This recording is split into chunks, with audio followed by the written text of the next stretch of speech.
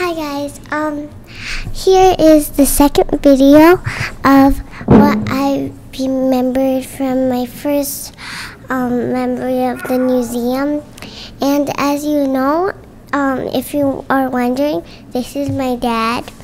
And so, um, my other first memories of the art museum is getting chocolate milk and eating here um, with my mom.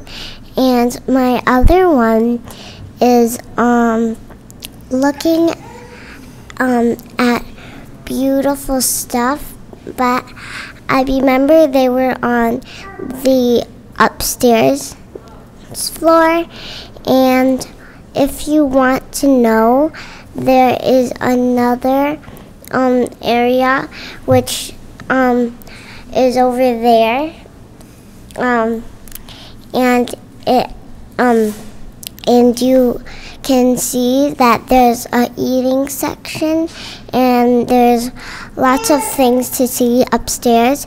Me and my mom didn't see um, all of the stuff that it was up there.